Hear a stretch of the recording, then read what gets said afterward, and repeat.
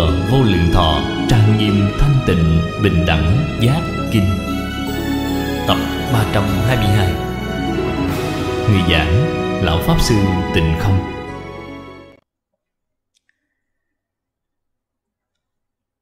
Một đoạn phía sau này nói được rất hay.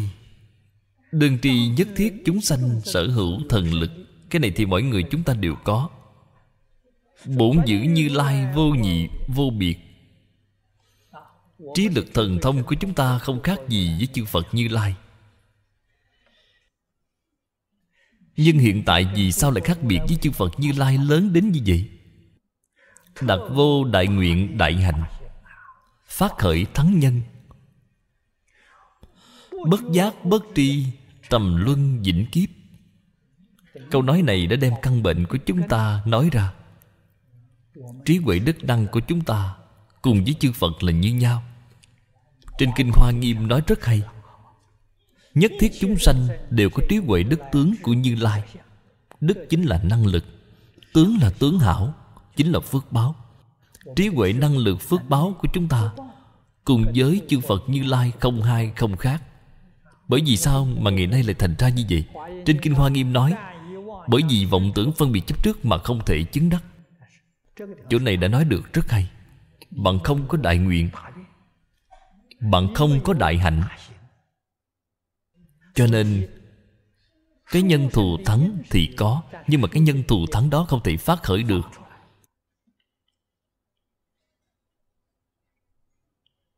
So với trên Kinh Hoa Nghiêm Thì nói được tường tận. Cho nên đã biến thành bất giác bất tri. Vốn là đại giác đại tri, hiện tại thì đã biến thành bất giác bất tri đọa lạc trong sáu cõi luân hồi, nhiều kiếp đến nay. Bạn nói xem có đáng thương không? Mỗi câu này đều là lời thật. Cho nên, chúng ta phải nên chăm chỉ nỗ lực, phải thật làm. Bạn một đời đi con đường này, khẳng định là sẽ đi thành công huống hồ đây là chánh đạo. Chánh đạo thì nhất định là chư phật như lai gia trị chư phật hộ niệm. Long thiên hộ pháp bảo vệ bạn. Không cần phải lo lắng. Cả đời tôi đắc lực. Là nhờ giáo huấn của chương gia đại sư. Chân gia đại sư thật sự là đã cho tôi một sự an tâm.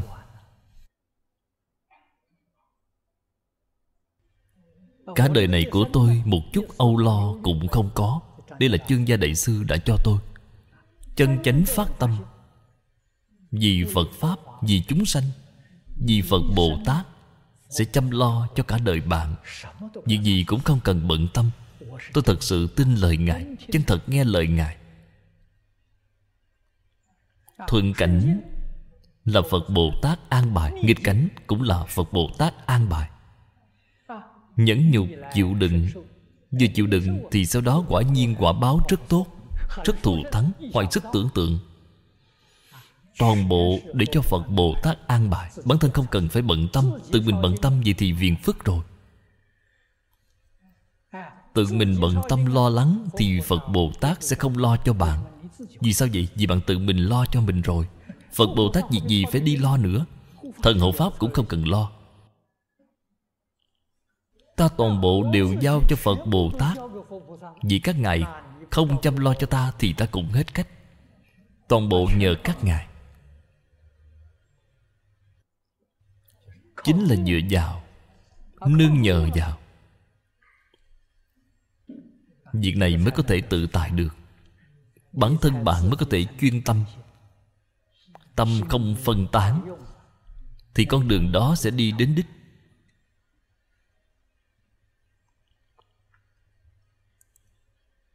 Vào lúc tôi mới xuất gia, tại đại trung học kinh giáo với lão sư lý, bước ra đi giảng kinh. Đại khái cũng giảng được mười mấy năm những vị đồng tham đạo hữu xuất gia cùng một lượt với chúng tôi đều rất quen thuộc. Các huynh đệ thọ giới cùng lúc nhìn thấy tôi, họ đều nói, không ngờ tôi giảng kinh mà cũng có thể giảng được thông như vậy.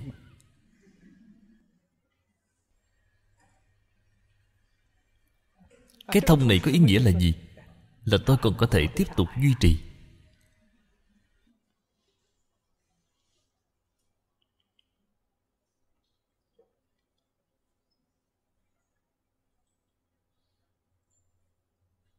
Vào lúc đó, mọi người đều lo lắng. Đây cũng là sự thực đã tạo thành. Quyết định là không thể trách họ. Tự miếu đều không có đất đai. Không như ngày xưa, tự miếu vào thời xưa đều có ruộng đồng nương rẫy. Các cư sĩ có cúng dường họ, không cúng dường tiền bạc, họ cúng dường ruộng đất, núi non cho bạn đây là những thứ có thể cho nông dân thuê lại để làm. Thu tiền thuê đất, cho nên kinh tế của từ miếu đạo tràng, đều có thu nhập cố định. Họ không cầu người. Đời sống kinh tế của họ đã được đảm bảo. Không cần phải dựa vào tín đồ. Nhưng mà tự diện tòng lâm ngày nay đều không có tài sản không có tài sản thì đành phải nhờ vào pháp hội. Nhờ kinh sám nhờ vào thu nhập từ những việc này. Việc này rất khổ, phải trong sắc mặt của tín đồ. Bạn đắc tội với họ thì lần sau họ sẽ không đến. Cho nên những ngày tháng như vậy thật không dễ sống. Đây là cái hiện tượng mà xã hội đã tạo thành. Nhưng mà một bộ phận khác là các đồng học học phật. Xuất gia khác. Đối với phật bồ tát không có lòng tin. Không dám tin vào phật bồ tát. Tin vào phật bồ tát, tôi không làm kinh sám, không làm phật sự. Tôi ngày ngày lo niệm phật, nghiên cứu kinh điển. Ngày mai không có cơm ăn thì phải làm sao?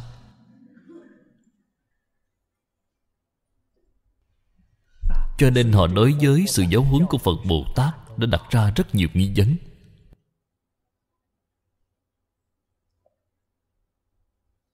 Thật sự là bán tính bán nghi. Lòng tin của các vị không như tôi.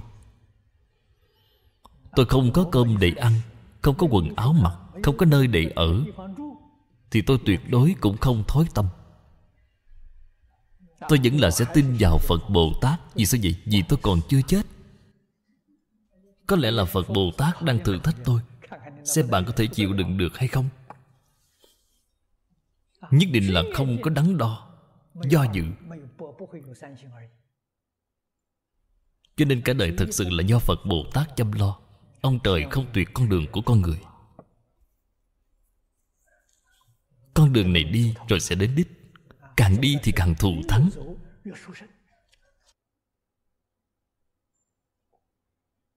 Ngày trước không cần nói đâu xa.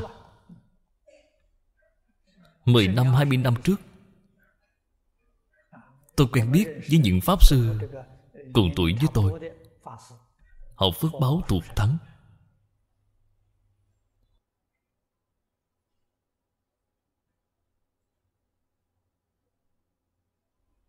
Vào lúc đó Thì tôi cũng đang lưu bạc khắp nơi. Bản thân tôi có một cái đạo tràng, Giống như cái đạo tràng mới xây ở Úc Châu. Trước khoảng thời gian này, Vẫn còn lưu lạc. Ăn nhờ ở đậu Cũng phải nhìn sắc mặt của người khác. Khi người ta không vui Thì chúng ta liền biết mình đã sai rồi, Phải đi thôi. Cho nên đến hiện tại Mới xây một cái đạo tràng Nhưng mà hiện tại xem thấy những người bạn ấy của tôi Tôi lại thấy có phước báo hơn họ. Họ đều không như tôi.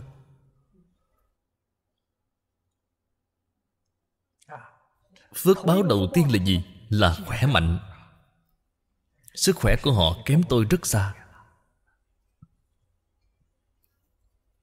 Hai năm nữa thì tôi được 80 rồi. Họ nhìn tôi rất là ngưỡng mộ. Thứ hai là Tiền bạc. Hiện tại thì họ cảm thấy chùa quá lớn, Sự nghiệp quá lớn. Việc xoay sở tiền bạc rất khó khăn, Không có đủ tiền. Do gì tai nạn nhiều, Tín đồ cúng dường càng ngày càng ít. Cho nên muốn làm một việc gì đó, Bảo họ bỏ ra mấy triệu Thì sẽ vô cùng khó khăn. Không cần nhiều, chỉ một hai triệu thôi thì cũng không có. Chỗ này thì họ không bằng tôi. Tôi không có một đồng nào. Tôi ở đây nói vài câu Thì sẽ có rất nhiều tiền đến. Đích thực là Tâm tưởng sự thành, Hữu cầu tất ứng.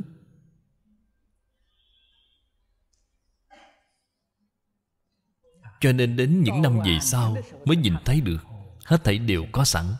Không có cái gì mà không phải Phật Bồ Tát an bài.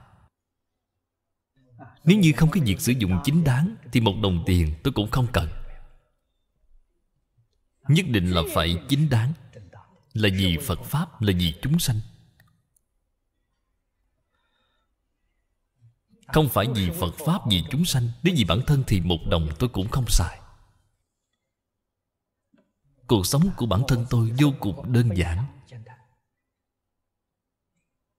Sau khi trở về từ Indonesia, Thì tôi càng thận trọng hơn. Ngày trước người ta mời tôi đi dùng cơm, Tôi đều đi. Hiện tại thì tôi không dám đi. Nguyên nhân là gì? Ở tại Indo, hơn một tuần cũng không phải là một thời gian dài. Ở tại một khách sạn cao cấp nhất ở Indo thì nơi càng cao cấp thì càng lạnh. Tôi đã bị phong hà Tôi bị cảm lạnh. Còn lúc ăn uống Thì trong thức ăn có bỏ bột ngọt. Lúc bình thường tôi không có ăn bột ngọt. Mấy mươi năm nay đều không có ăn bột ngọt. Thứ này rất là hại cơ thể. Hương vị thì rất ngon, Nhưng mà đối với thân thể thì có sự tổn hại nghiêm trọng. Năm xưa, tôi ở Đại Trung. Lão sư Lý đã cảnh báo nhiều lần với tôi. Nói với tôi là tuyệt đối không nên đi đến quán để ăn uống. Chúng tôi có một đồng học là cư sĩ Du Tuấn Kiệt. Tuổi tác trẻ hơn tôi.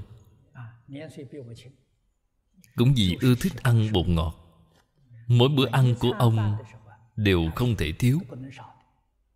Ông đại khái là chưa được 40 Thì đã qua đời rồi. Ra đi từ lúc rất trẻ. Vào lúc đó thì Lý Lão Sư nói chúng tôi Hãy xem đó làm thí dụ. Chúng tôi mới biết được nó rất nghiêm trọng. Thứ bột ngọt này mà ăn trong thời gian dài Thì sẽ trúng độc, Tổn hại đến gan và thận. Cho nên mới nói là, Họa từ miệng ra, Bệnh từ miệng vào những lời này của người xưa rất có đạo lý. Cho nên hiện tại nếu như ra ngoài ăn uống Thì đều là bột ngọt. Đây là một sự việc rất phiền phức. Cho nên, đi du lịch Thì phải mang theo đồ để nấu ăn thì mới được. Không nên ăn đồ của người ta nấu Vậy thì mới thật sự an toàn. May mà cuộc sống của người xuất gia tu hành. Người niệm phật đều rất đơn giản. Việc ăn uống cũng rất dễ dàng. Đây mới gọi là cẩn thận.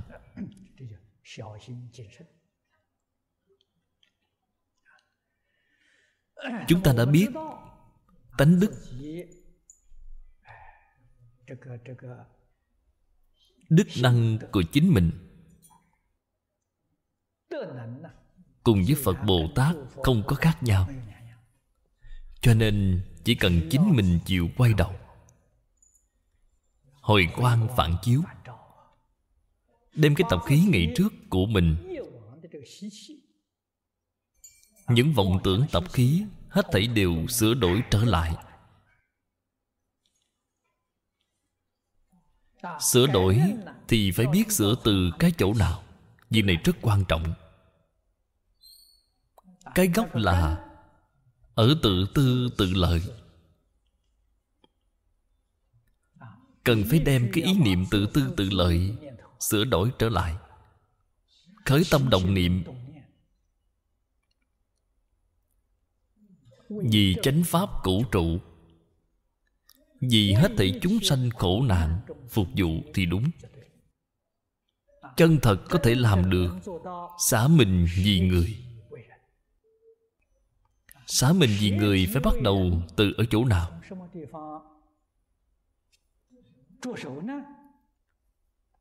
Chính là thế tôn đã dạy chúng ta vì người diễn nói. Đây chính là xả mình vì người. Cho nên học viện học viện tịnh tông ở úc châu tháng một năm nay đã chính thức dạy học rồi đã mất hết thời gian hai năm để chuẩn bị. Dạy học tôi yêu cầu hai năm đầu tiên là năm nay và sang năm. Hai năm này học cái gì? Học đệ tử quy. Đệ tử quy để dạy cho nhi đồng. Người xuất gia hiện tại của chúng ta đều đã trên 40 tuổi rồi. Nhưng phải học cái này. Học cái này có nghĩa là như thế nào? Biểu diễn cho người khác xem. Đây chính là xã mình vì người. Ta ngày nay giảng giảng thì người ta không tin. Ta tự mình làm. Ta làm cho người xem. Đây là thân giáo. Làm ra tấm gương cho người khác xem. Người ta mới tin bạn. Cho nên trong hai năm đầu này, môn học tôi không cho nhiều. Là đệ tử quy. Kinh thập thiện nghiệp đạo ấn quan đại sư dạy chúng ta là cảm ứng thiên. An sĩ toàn thư. Trên thực tế thì an sĩ toàn thư là quan trọng nhất, chính là phía trước của văn xương đế quân âm trắc văn.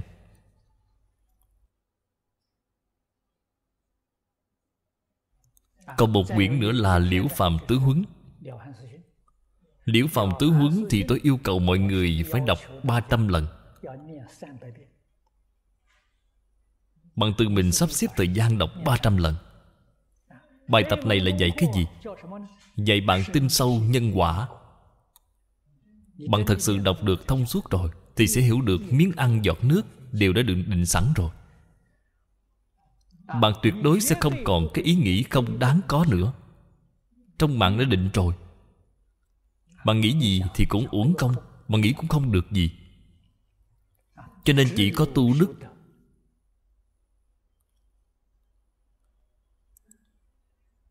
Đoạn ác tu thiện, Tích công lũy đức Thì mới có thể cải tạo vận mạng của bạn được. Chân thật làm đến được, Không tranh với người, Không cầu ở đời. Nếu bạn chân thật làm được, Việc này không phải chỉ để giảng, Không phải để nói. Cho nên trong hai năm này là giáo dục cơ bản. Cơ bản hoàn toàn chú trọng ở tại thực hành. Không chú trọng ở nói. Sau hai năm này thì mới học vào khoa chính quy. Chính khoa của Học viện Tịnh Tông chúng ta chính là năm kinh một luận. Kỳ hạn học tập năm kinh một luận là ba năm.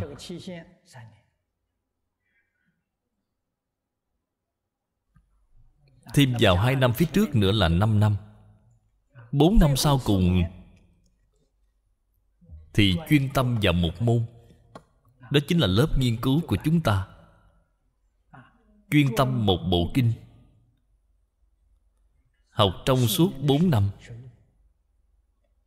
Cho nên việc dạy học của chúng tôi thời hạn là 9 năm. Hai năm đầu trong 9 năm đó là xây dựng nền tảng. Trong hai năm này, Nếu như đệ tử quy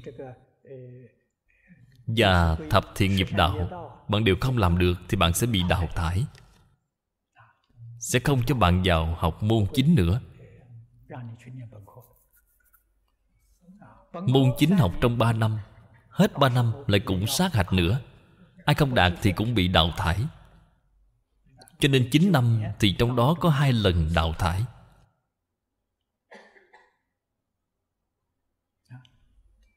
Không nghiêm khắc, không thật làm thì không thể thành nhân tài. Cách dạy học này của chúng ta đều là tuân thủ sự giáo huấn của phật bồ tát, tổ sư đại đức. Khổng lão phu tử dạy học thì đầu tiên cũng là đức hạnh. Chúng ta đem đức hạnh để ở hàng đầu.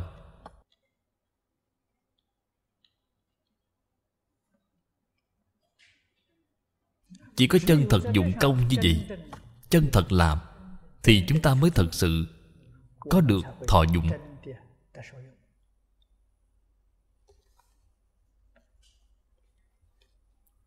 Ở tại chỗ này mà cấm gốc. Vậy thì những thứ mà bạn học, chính là người xưa thì nói là thực học học vấn chân thật. Bạn có thể tự độ bạn cũng có thể độ người.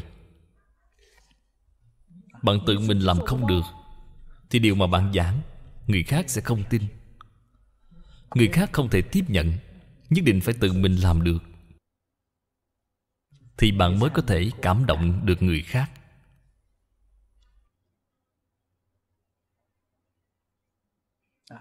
Cho nên sau đó đã tổng kết là nhược năng nhất niệm hồi quan phương tri gia nghiệp cụ tại. Như nhập bảo sơn thủ chi vô tận. Như du hương quốc, xúc xứ mông huân. Yếu tu thân đáo phương hưu. Thần vật bán đồ di phế. Đây chính là bạn phải có nghị lực, có sự bền lòng. Quyết định không thối chuyển bất luận là gặp phải sự gian nan khốn khổ như thế nào, vẫn là dũng mãnh tinh tấn.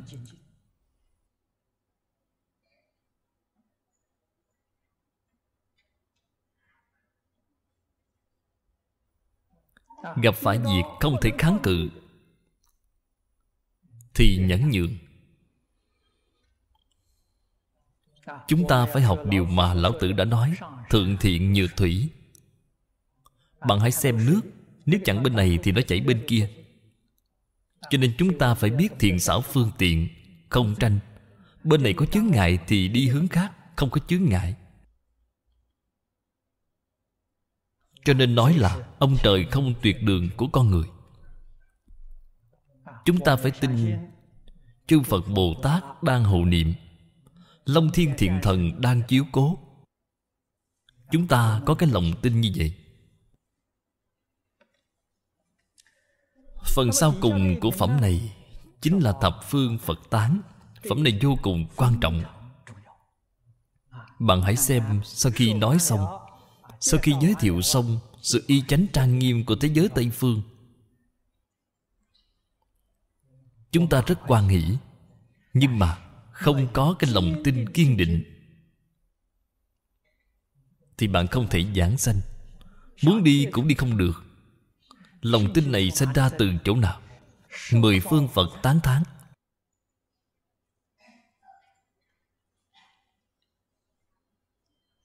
Đoạn kinh văn này rất quan trọng. Chúng ta Đọc qua kinh văn một lần.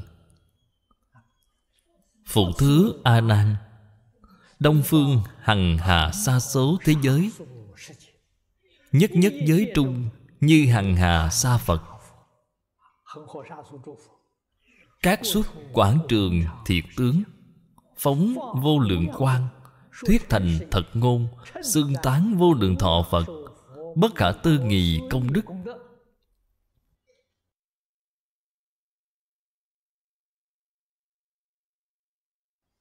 Đoạn này nói đến Thuyết thành thật ngôn. Quảng trường thiệt tướng.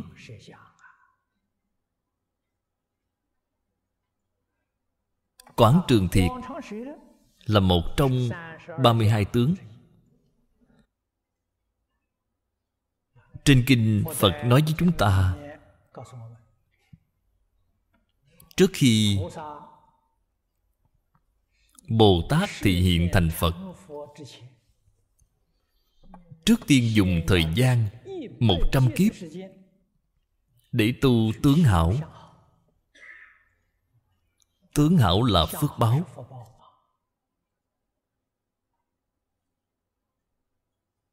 Dùng thời gian một trăm kiếp để tu 32 tướng tốt 80 vẻ đẹp. Mỗi một tướng hảo Đều là một quả báo.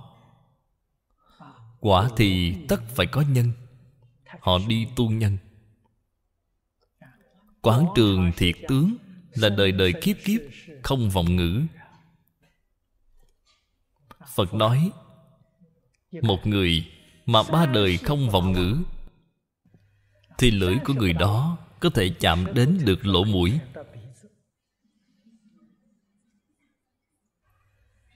Thích Ca Mâu Ni Phật biểu diễn cho mọi người xem. Lưỡi của Ngài lè ra, có thể che được cả gương mặt. Vì này thì mọi người không còn gì để bàn cãi với Ngài. Ngài nói là lời thành thật, Đời đời kiếp kiếp, không vọng ngữ, Không có lưỡng thiệt, Không có ý ngữ, Không có ác khẩu. Thì có được cái tướng hảo như vậy? Lại nói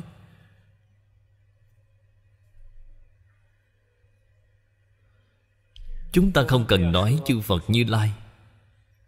Chúng ta nói Pháp Thân Bồ Tát. Phá một phẩm vô minh Chứng một phần Pháp Thân. Bạn nói xem lúc này Thì đã có đủ trí huệ đức tướng Của Như Lai hay chưa? Chúng ta hãy nghiên cứu cái vấn đề này. Có đủ. Vì đã có đủ rồi. Tại vì sao còn phải tu hết một trăm kiếp? Còn phải đi làm thêm cái việc này nữa. Đây là giáo hóa chúng sanh. Họ đã có được rồi.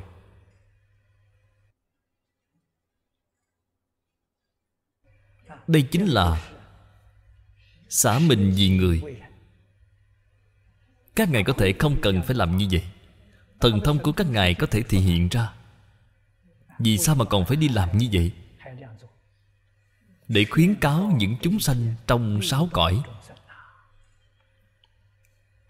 Khuyến cáo chúng sanh trong mười pháp giới. Không những sáu nẻo không có phước Mà mười pháp giới cũng không có.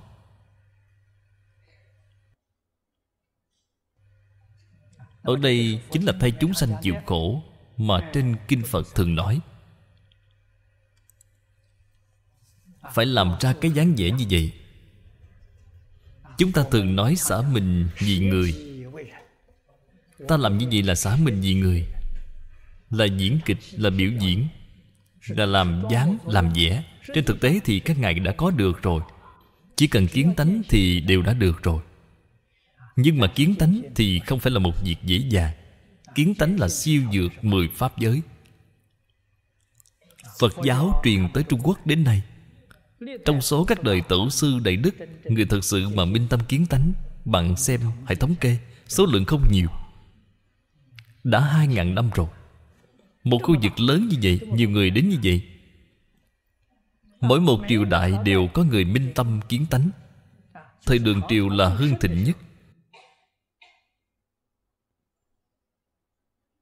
Thời tùy đường, suốt 300 năm,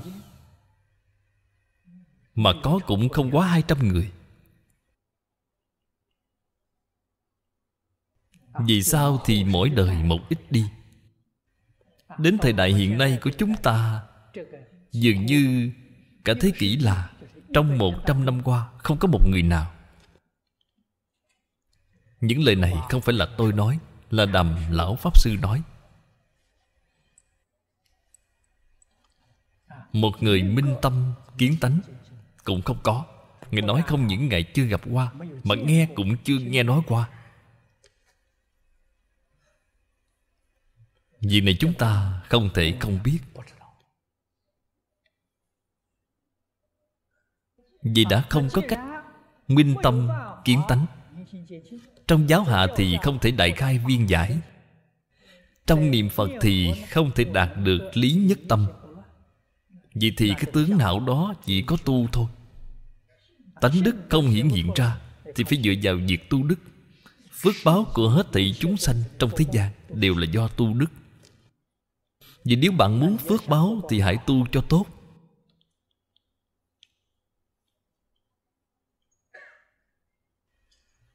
Con người hiện tại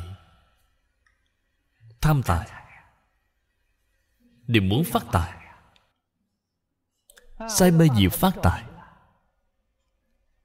Có thể phát tài được hay không? Trong số mạng của bạn không có, thì bạn có dùng phương cách gì cũng không thể phát tài được. Vì trong mạng của bạn không có mà. Phật dạy chúng ta có một phương pháp để phát tài. Đó là tài bố thí. Tôi hiện tại tiền bạc, sử dụng không thiếu một chút gì nguyên nhân là gì? Từ ngày tôi bắt đầu học phật, thì chân gia đại sư đã dạy tôi bố thí. Thật vậy, ngày đầu tiên, trong lần đầu gặp mặt người xuất gia Tịnh giáo với Ngài Ngài liền dạy tôi bố thí. Tôi rất nghe lời. Tôi cũng không biết bố thí thì có lợi ích gì. Dù sao thì lão sư đã dạy, Mà vậy thì làm thôi. Cho nên ngày nay tiền bạc tôi sử dụng không bao giờ thiếu. Chính là do sau khi học Phật 53 năm nay, Ngày ngày đều tu bố thí. Bố thí tài thì được giàu có. Bố thí pháp thì được thông minh trí huệ. Bố thí vô úy thì được khỏe mạnh sống lâu. Ba loại quả báo này tôi đều có được. Ba loại quả báo này thực tế mà nói, Trong số mạng của tôi không có.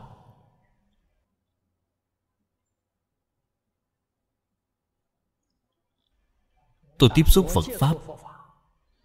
Vào lúc đó vẫn chưa tiếp xúc qua với người xuất gia.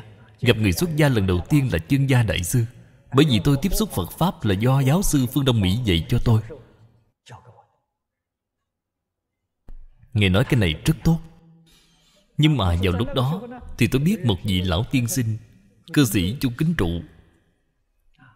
Ông giàu khi đó Cũng gần 70 tuổi rồi. Tôi thì 26 tuổi. Ông xem tôi như một người bạn nhỏ. Rất là từ bi, Rất yêu thương tôi. Tặng tôi một quyển liễu phàm tư huấn. Tôi thường hay nói với các đồng học, Sau khi tôi nhận được quyển sách này, Tôi đã xem được 30 lần. Đại khái là 30 lần Trong hơn 2 tháng. Càng xem càng quan hỷ, Càng xem càng cảm động. Ngẫm nghĩ lại chính mình tất cả những thói xấu của liễu phàm tiên sinh tôi đều có. Chỉ có nhiều hơn chứ không ít hơn. Liễu phạm tiên sinh còn có một chút vước báo tôi thì một chút cũng không có.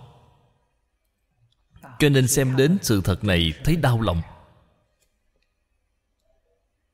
Cũng không biết bản thân phải làm như thế nào.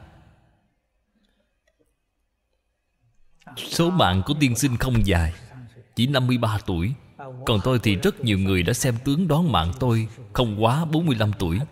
Mạng của tôi còn ngắn hơn tiên sinh. Phước báo thì không có một chút nào. Cuộc sống rất gian nan khổ cực. Đó là khi tôi còn trẻ.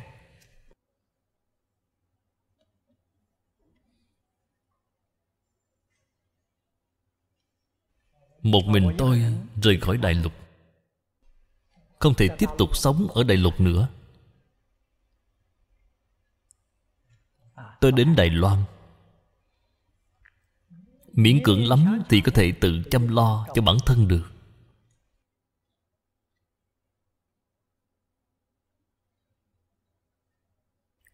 Còn gia đình thì cũng không dám nghĩ đến. Gia đình tôi thì cha tôi là nhân viên công vụ. Sống nhờ vào đồng lương. Sau khi ông mất thì cũng mất đi nguồn kinh tế. Tôi cũng không biết họ ở nhà làm sao để sống. Tôi mất liên lạc suốt 36 năm trời. Sau 36 năm gặp lại Thì tôi biết được, May mà nhờ có nhà nước.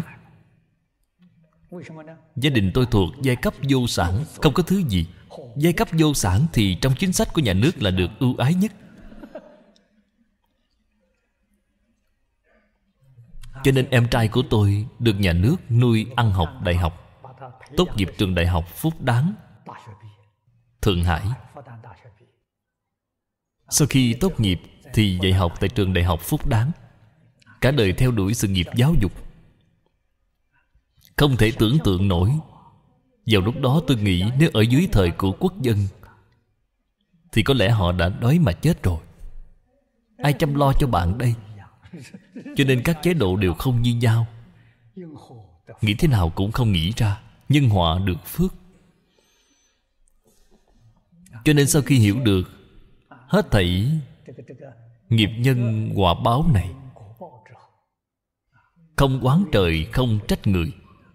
Trong đời quá khứ không có tu. Đại khái cách một khoảng thời gian Cũng khoảng 2-3 tháng. Tôi liền gặp được chương gia đại sư. Chương gia đại sư liền dạy tôi những phương pháp này. Vậy tôi nhìn thấu buông xả, Bố thí. Đều là do Ngài đã dạy tôi. Tôi liền chăm chỉ học. Học đại khái 20 năm Mới thấy được hiệu quả. Có một chút phước báo hiện tiền. Tại Đài Bắc Chúng tôi Có một cái đầu tràng nhỏ của mình, Chính là Hoa Tạng Đồ Thư Quán.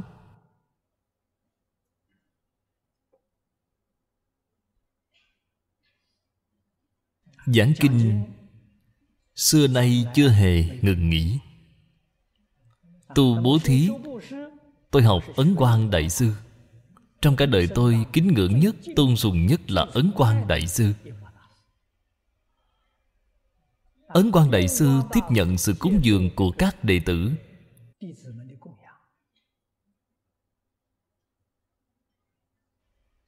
Sự cúng dường của tứ chúng đồng tu, Ngài toàn bộ đều đem đi. In ấn kinh sách, Ngài làm một cái hoàng hóa xã tại Tôn Châu, Ngài không làm cái gì khác. Chính là làm cái sự việc này là in kinh, Làm pháp bố thí.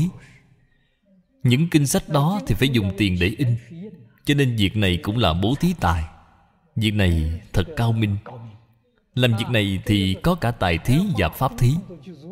Tôi liền học được. Cho nên tôi liền học được Có tiền nên đem đi in kinh. Mới đầu bản thân không có đủ sức. Có được vài đồng Thì tùy hỷ theo người khác. Người khác in kinh thì tôi góp thêm vào. Sau này thì từ từ có được một chút phước báo, Bản thân có thể tự mình đứng ra ấn tống. Đề xướng việc in ấn kinh điển. Quả thật là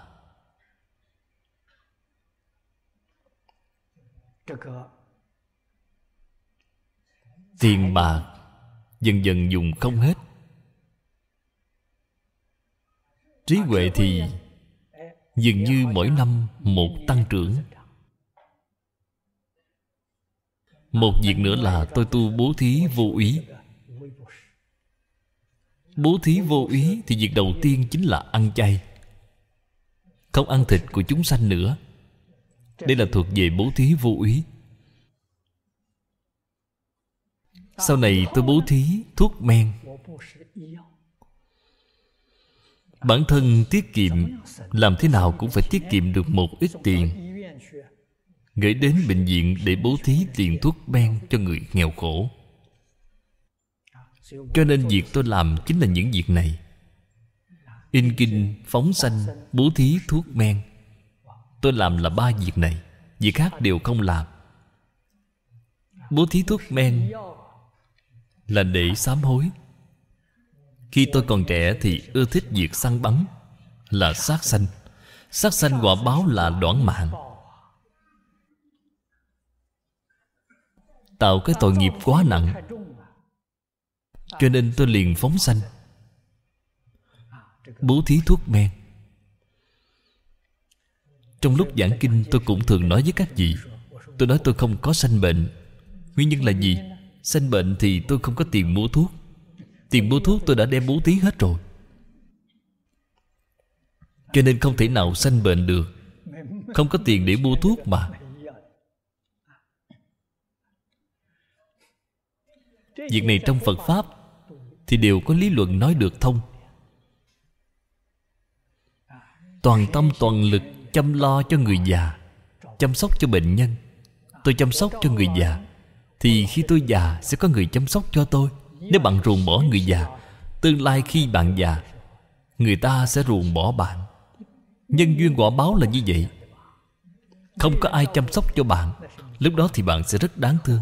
Bạn có hối hận cũng không kịp cho nên nhất định phải nghĩ đến, việc mình sẽ phải già. Già rồi thì sẽ phải làm thế nào? Đương nhiên tốt nhất là bạn có một thân thể khỏe mạnh. Không cần đến người khác chăm sóc. Đây rõ ràng là bạn rất khỏe mạnh. Cho nên lão sư của tôi là lão cư sĩ lý vĩnh nam. 95 tuổi mà không cần ai chăm sóc. Vì này có ý nghĩa gì? Chứng tỏ thân thể Ngài còn rất tốt, Hai năm cuối đời mới chịu tiếp nhận sự chăm sóc của học trò. Phụng sự cho Ngài. Cuộc sống vô cùng đơn giản. Lão sư mỗi ngày ăn một bữa. Giản tiện.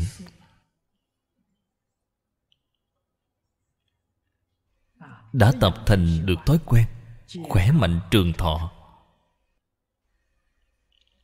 Những việc này, Chúng ta nên học tập.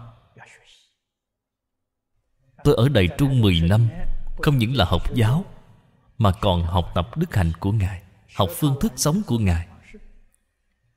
Không lãng phí một điều gì. Chỗ nào cũng đồng tình với người khác.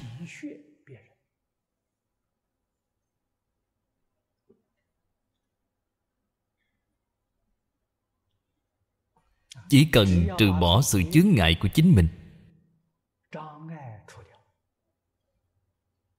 Chướng ngại của tánh đức. Tánh đức chướng ngại thì Trên Kinh Hoa Nghiêm nói là, Vọng tưởng phân biệt chấp trước. Có thể trừ bỏ được chấp trước. Không còn chấp trước đối với tất cả Pháp thế xuất thế gian. Ý niệm chấp trước đều không còn. Thì bạn đã siêu dược, sáu cõi luân hồi. Niệm phật giảng sanh. Xin nói với các vị là phương tiện, hữu dư độ, không phải là phàm thánh đồng cư độ. Chấp trước mà chưa đoạn thì sanh phạm thánh đồng cư độ. Sự việc này tốt nhất là hoàn thành ngay trong đời này của chúng ta. Lợi ích vô lượng vô biên. Phải nên biết khi đến thế giới tây phương cực lạc so với các quốc độ chư phật khác, nhanh hơn rất nhiều. Nhanh hơn quá nhiều. Bạn xem hà hà phẩm giảng sanh đến thế giới tây phương cực lạc, sẽ đến thật báo trang nghiêm độ. Chỉ có 12 kiếp.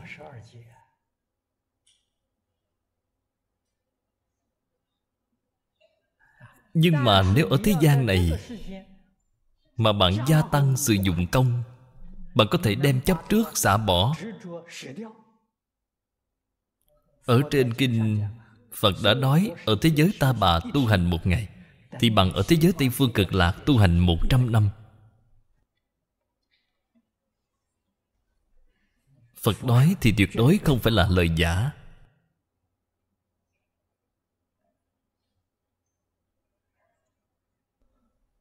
Cách tu như thế nào là chân thật đoạn dứt nếu như không đoạn thì chúng ta ở phàm thánh đồng cư độ, phàm thánh đồng cư độ muốn thăng cấp lên đến phương tiện hữu dư độ, thì 12 kiếp đó dù sao cũng phải chiếm thời gian đến 3-4 kiếp. Vậy ở nơi này chúng ta mấy năm liền thành công rồi. Thì hơn cả mấy kiếp ở thế giới tây phương cực lạc rồi. Bài toán này bạn phải biết tính cắn răng bậm môi thì cũng phải buông nó xuống.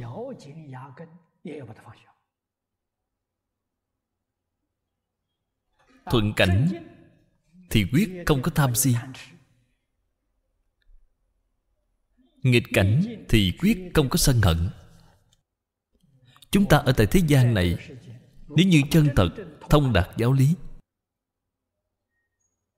trong tâm chúng ta không một mảy may hoài nghi thì việc chúng ta đến thật báo trang nghiêm độ ở thế giới tây phương cực lạc là việc có thể làm. Thật báo trang nghiêm độ không những không chấp trước, mà tâm phân biệt cũng không còn nữa. Không chấp trước, siêu dược sáu cõi. Không phân biệt thì siêu dược mười pháp giới. Từ trên hai phương diện này mà bắt đầu cái phương pháp tu hành này cùng với lý luận nói trong pháp tướng tông hoàn toàn tương ưng. Pháp tướng tông chuyển thức thành trí, chuyển tám thức thành bốn trí. Phương pháp chuyển của họ thì sáu bảy phần chuyển trên nhân, năm tám phần chuyển trên quả từ năm tám phần thì bạn không còn cách nào hạ thủ. Bạn phải từ trên sáu bảy. Thức thứ bảy chính là chấp trước. Mặt na chấp trước. Thức thứ sáu là phân biệt. Chúng ta có thể đem hết thảy phân biệt chấp trước, buông bỏ. Không phải là chuyển thức thứ sáu thành diệu quan sát trí. Chuyển thức thứ bảy thành bình đẳng tánh trí cho nên bảy thức không chuyển. Thanh tịnh bình đẳng giác. Bình đẳng thì bạn sẽ không nhận được nữa.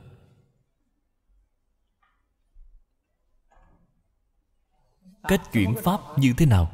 Đối với hết thảy pháp, không phân biệt, không chấp trước thì tâm của bạn sẽ thanh tịnh. Nhưng mà làm việc đối với người thì vẫn phải phân biệt, vẫn phải chấp trước nếu như bạn không phân biệt không chấp trước, thì người ta nói bạn cũng không phải là người bình thường. Bạn là kẻ ngớ ngẩn. Vào lúc đó thì làm sao mà phân biệt chấp trước vậy? Là tùy thuận chúng sanh có phân biệt mà phân biệt. Tùy thuận chúng sanh có chấp trước mà chấp trước. Ý nghĩa là gì? Là biểu diễn. Trong tâm thì quyết định là không có. Trên sự biểu hiện ra ngoài thì vẫn còn trên bề ngoài thì chung sống ôn hòa với mọi người rồi, không có sai khác, nhưng bên trong thì hoàn toàn là không như nhau. Phân biệt chấp trước của bạn là thật, bạn thật sự có tâm như vậy. Còn phân biệt chấp trước của tôi là giả, là đóng kịch, biểu diễn cho các vị xem. Bề ngoài thì có, bên trong thì không. Việc này thì là cao siêu, đây chính là phật pháp tại thế gian, bất hoại thế gian pháp chúng ta mới có thể sống chung với đại chúng, mới có thể giúp đỡ tất cả chúng sanh.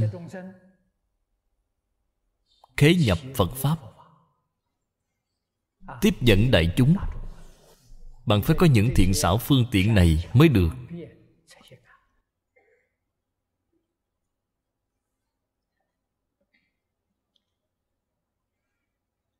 Đây đều là trong việc học phật thường ngày của chúng ta.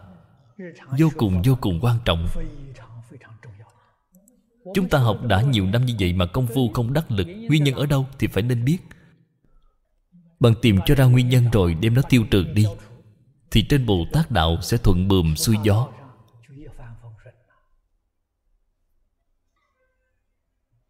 Kinh không thể không đọc tụng. Đọc một bộ kinh này thì được rồi. Ngày ngày phải đọc. Không những phải đọc, còn phải đọc chú giải. Không đọc chú giải thì bạn không hiểu. Bạn nghe tôi giảng kinh. Nghe tôi giảng kinh thì tôi đem bộ kinh này giới thiệu cho mọi người. Nhưng mà tôi vẫn là khuyên mọi người phải đọc chú giải. Bởi vì chú giải, cư sĩ hoàng niệm tổ thực sự là rất hay. Dẫn chứng từ kinh điển. Bạn đọc quyển chú giải này của ông thì tương đương với việc bạn đọc một hai trăm bộ đại thừa kinh luận. Bạn không cần đọc gì khác. Bạn đọc chú giải của ông ông đã dẫn chứng hết ra đây rồi thì như là bạn đã đọc một hai trăm bộ kinh luận rồi. Hay là ở chỗ này? Chúng tôi ở nơi này giảng. Thực tại mà nói cũng là tham khảo ở quyển sách của ông. Đương nhiên không thể đem hết chú dạy của ông ra mà giảng. Nếu đem ra hết mà giảng thì cũng không biết là đến năm nào mới giảng xong. Những kinh luận mà ông dẫn dụng đều rất là tinh túy. Lấy hoài không hết, dùng hoài không cạn.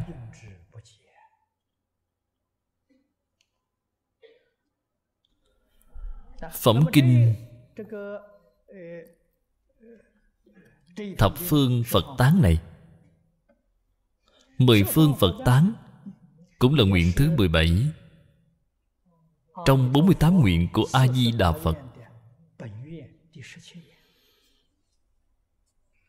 Nguyện thứ 17 là chư Phật tán thán nguyện.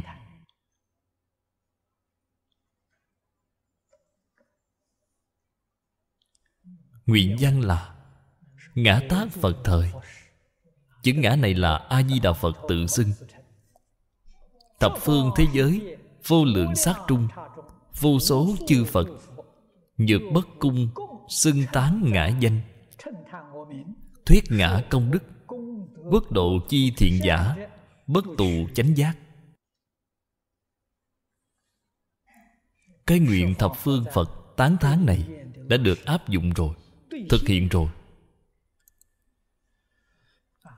Vì sao mà A-di-đà Phật phải có cái nguyện này? Vì nguyện này rất quan trọng. Ngài có cái nguyện lớn như vậy. Muốn giúp đỡ hết thảy chúng sanh, Nhanh chóng thành Phật. Nếu như không có ai thay Ngài tuyên truyền, Không có ai biết Vậy thì tâm nguyện này của Ngài Không thể viên mãn. Là những ai vậy? Mười phương ba đời tất cả chư Phật đều giúp ngài tuyên truyền. Việc này quá hay. Cho nên trên kinh này thế tôn đã tán thán a di đà phật là quan trung cực tôn phật trung chi dương. Trong khi tôi giảng đã nhiều lần nói rõ với các vị đồng học. Thế giới tây phương cực lạc là một cái đại học phật giáo, mà a di đà phật là người sáng lập.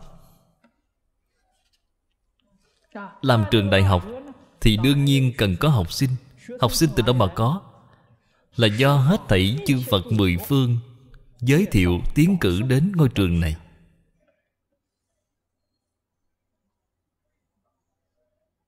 Thế giới ta bà này của chúng ta, thì giáo chủ là thích ca mâu ni phật, cũng khuyên chúng ta đi đến thế giới cực lạc.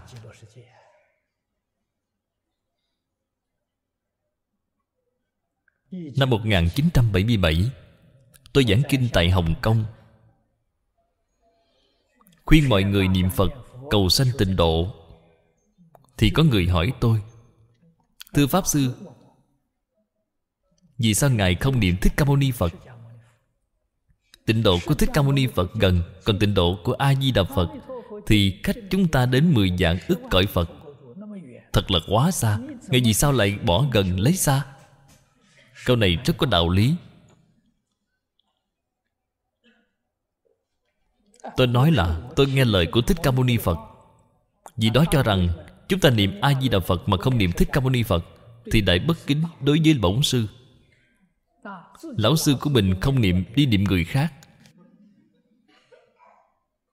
Tôi nói không phải là như vậy. Tôi nói thích ca mâu ni phật vậy tôi niệm a di đà phật. Tôi niệm a di đà phật chính là theo giáo huấn của thích ca mâu ni phật. Đây mới là tôn kính đối với Thích Ca Mâu Ni Phật. Thích Ca Mâu Ni Phật vậy tôi niệm A-di-đà Phật. Tôi lại không niệm A-di-đà Phật Mà ngày ngày niệm Nam Mô Bổn Sư Thích Ca Mâu Ni Phật, Thì Thích Ca Mâu Ni Phật sẽ không hài lòng Vì không nghe giáo huấn, Không nghe lời của Ngài. Cho nên tôi nghĩ lại vẫn là nghe theo giáo huấn của Thích Ca Mâu Ni Phật vậy. Ngài dạy ta niệm A-di-đà Phật Thì ta niệm A-di-đà Phật. Ngài dạy ta cầu sanh thế giới cực lạc Thì ta cầu sanh thế giới cực lạc. Vì thì mới đúng. Vì thì mới không sai. Cho nên lời nói bên ngoài bạn vừa nghe Có vẻ như có đạo lý. Như đúng nhưng mà lại sai, Mới không có đạo lý.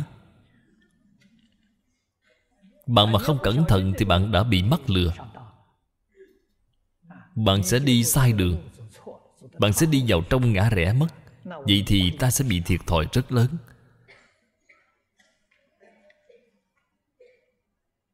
Cũng như cái bản hội tập này, hai năm trước đây thì sự phản đối rất nhiều, rất lớn.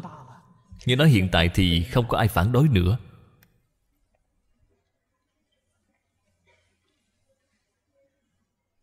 Vào lúc đó thì có rất nhiều người mắng tôi. Lại có người viết bài ở trên báo chí, tạp chí. Còn nêu tên tôi ra mắng nữa. Vào lúc đó, tôi nói dù cả thế giới mắng tôi, cả thế giới phê bình tôi, thì tôi vẫn sẽ đọc bộ kinh này, tôi vẫn sẽ giảng bộ kinh này, học bộ kinh này, tuyệt đối không thay đổi. Nguyên nhân là gì? Là lão sư đã trao truyền lại cho tôi bạn đâu phải là lão sư của tôi, bạn cũng không quen biết lão sư của tôi. Lão sư đã trao truyền cho tôi. Nếu như tôi nghe lời của bạn, thay đổi bộ kinh này, thì cái tội danh sau này tôi sẽ không gánh nổi. Tội danh gì vậy? Là tội pháp sư tịnh không nghịch thầy phản đạo. Việc này có thể hay sao? Vậy thì tôi thật sự bị đại hại rồi. Dù cả thế giới này hủy bán tôi tôi vẫn là tôn sư trọng đạo cái khác thì tôi không có, chứ việc tôn sư trọng đạo thì tôi có. Tôi có sự tôn sư trọng đạo này. Việc mà lão sư trao lại cho tôi tôi tuyệt đối không thay đổi. Cho nên, thấy sắc, nghe tiếng, phải có trí huệ. Không thể nào mù quáng, không thể nào nghe tùy tiện được. Phải nên suy nghĩ. Họ nói thật sự có đạo lý hay không? Bạn nghĩ thông suốt rồi, thì bạn sẽ phát hiện lời của họ trong đó có vấn đề hay không? Cách làm có vấn đề hay không? Chúng ta phải kiên định lòng tin, không lai chuyển điều gì thì mới có thành công. Vậy mới có thành tựu. Cho nên, càng là thành tựu to lớn,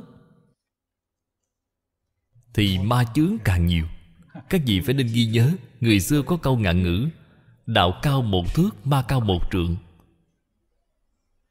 thế xuất thế gian đều không ngoại lệ, cái nào không phải thành tựu từ trong gian khổ, thì đều không thể xem là thành tựu chân thật.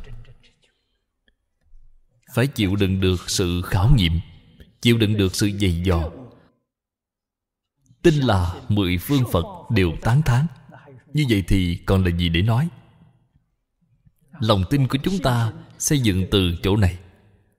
Không những là thế tôn mà mười phương tất cả chư phật đều tán thán. Trên quyển tiểu bổn kinh di đà của chúng ta nói rất rõ ràng quyển kinh tiểu bổn này là do đại sư kumala thập dịch dịch là lục phương phật tán. Kinh ngày dịch đã tỉnh lược bớt rồi. Chỉ nói trên dưới và bốn hướng. Bản của ngài quyền trang thì dịch là thập phương cho nên hai cái này đối chiếu lại xem thì bạn sẽ hiểu. Trên tiểu bổn kinh di đà thì cũng nói là thập phương phật tán. Cẩn dịch, vọng tay cư sĩ. Địa chỉ email, vọng tay cư sĩ a gmail com. Người đọc, hạnh quan phát tâm cúng dường do gia đình phật tử thiền chân thành kính cúng dường nguyện cả thảy chúng sinh đều tín niệm di đà, đồng cầu sanh về nước cực lạc. Nguyện đem công đức này trang nghiêm cõi nước phật trên đền bốn ân nặng dưới cứu khổ ba đường. Nếu có ai thấy nghe, đều phát tâm bồ đề, hết một báo thân này, đồng sanh về nước cực lạc. Nam mô a di đà phật.